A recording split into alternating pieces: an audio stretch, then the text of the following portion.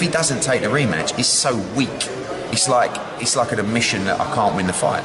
And what's he going to do? Have a warm up fight? Don't need a warm up fight. He has the rematch. He has to exercise it. Yeah. You know, whether he whether they think he can win or not, it's going to be a very difficult fight. Is that the right thing to do next? Go straight in. Hundred percent. If he doesn't take the rematch, he's so weak. It's like it's like an admission that I can't win the fight. All right, so Demetrius Bivol says that he wants to fight Canelo Alvarez at 168. Basically, he wants to fight Canelo at his weight class because he didn't appreciate all the excuses that Canelo Alvarez has came up with. It was this, it was that, it was his vegan diet, it was his hand, it was his training camp, it was a whole bunch of things. So Bivol wants to fight him at his weight class, so therefore he can no longer have any excuses.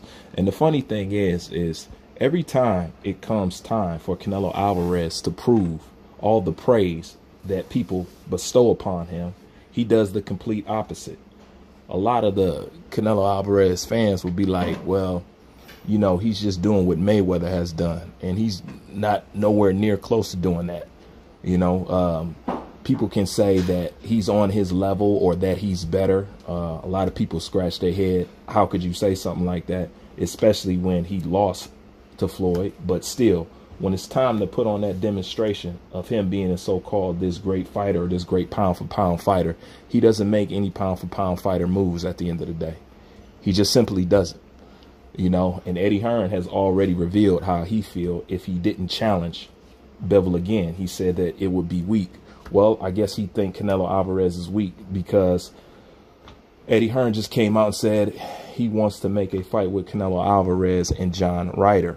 So that basically tells you how uh, Eddie Hearn feels about him right there. You know, he already said it'd be weak if he didn't rematch him. And then he's talking about lining him up with um, John Ryder.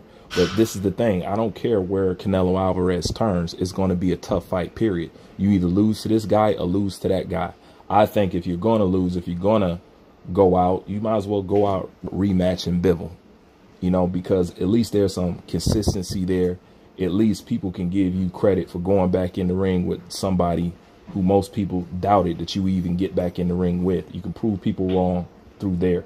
And being that in boxing, you can still have a victory with a loss depending on the performance you put on and the uh, courage it takes to rematch or challenge somebody who people view is on a higher level than you, then that would be a great way to go out. But Canelo Alvarez is not interested in that. But, you know, it was only a matter of time that he could keep this up for so long. But now is the time where all the questions are answered and the veil is lifted. And he was nowhere near the fighter that people said he was. And I was even one of those people who was fooled. See, the thing about Canelo is he got the same thing going on that Errol Spence got going on. A whole bunch of good names, but none of them was in their prime and none of them was killers.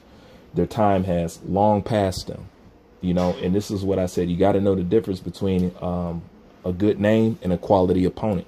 Most fighters, well, not most fighters, but most boxing fans don't know that. You know, they'll just go off the name.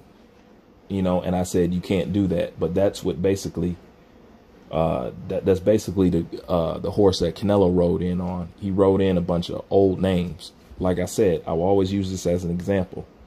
They gave Floyd hell for uh, fighting um, Miguel Cotto. Talking about he was too old. So basically gave him no credit for it. Canelo fights this same old fighter five years later, and it was a good win. But that's the double standard and the bias in boxing. But like I always say, that double standard and that bias stuff will always come back to bite us in our ass because it stops us from getting the fights we want because fans do not keep the same energy. If fans kept the same energy, just like I said, nobody can hide anywhere. No ducking would go on because we're all on the same accord. We want to see you fight the best if you claiming to be the best. You either put up or shut up.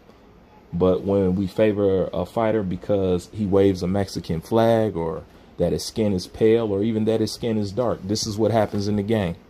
And I'll always keep reiterating that. But anyways, this is my thoughts on this. Like, comment, subscribe. Bruce Vane, I'm out.